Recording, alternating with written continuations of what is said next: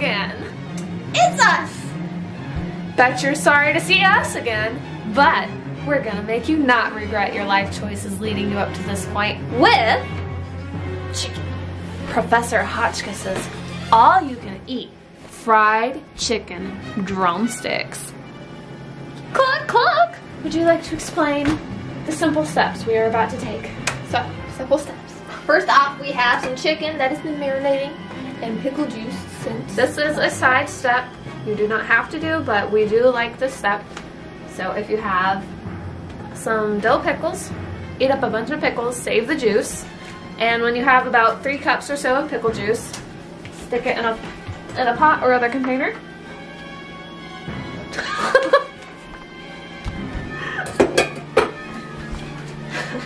How about you just show it to people?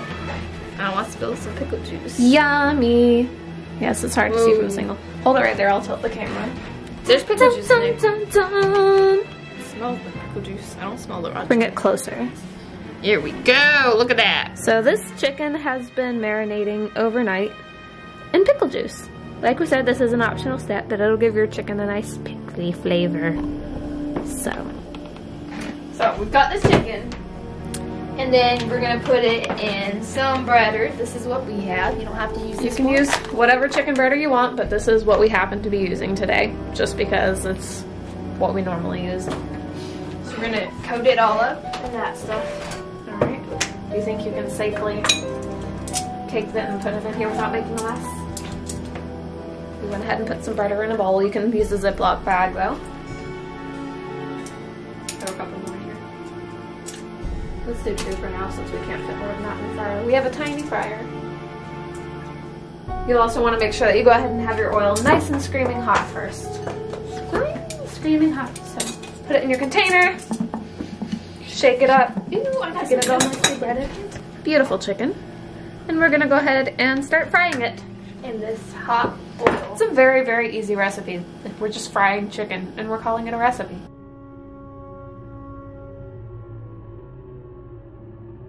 If you don't happen to have a fryer, you can totally fry this on the stove, which we probably should have done because this is gonna take forever. But my sister got a fryer recently, so we wanted to use it this way. Anyway, this is gonna take about 10 to 15 minutes in here, so we're just gonna cut this off for now. Go longingly watch our chicken fry, and we will return in about 10 to 15 minutes. Post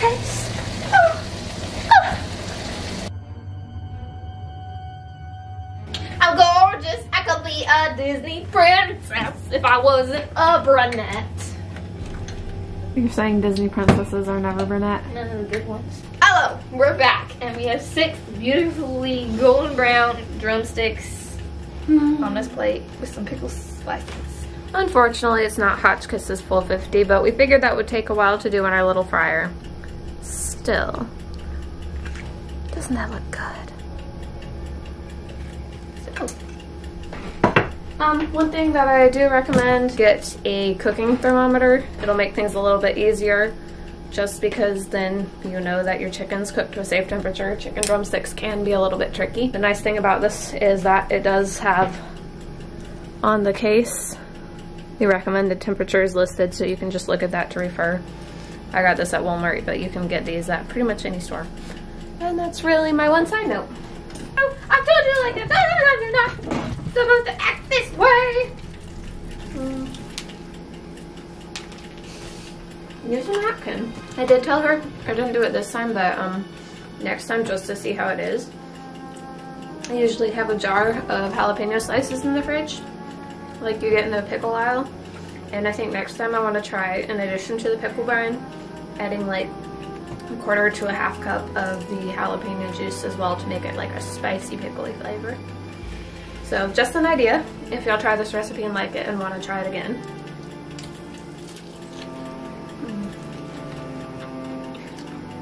I'm very impressed with Hotchkiss's ability to eat 50 drumsticks. It is very delicious, and you can't the pickle. And we don't even have half-hearted praise from you today. Whereas sometimes you're just like, mm. This is good. On a side note, we did get bored of waiting for all of this chicken to fry in that tiny fryer. So we made little chocolate cakes in between. So it took a while.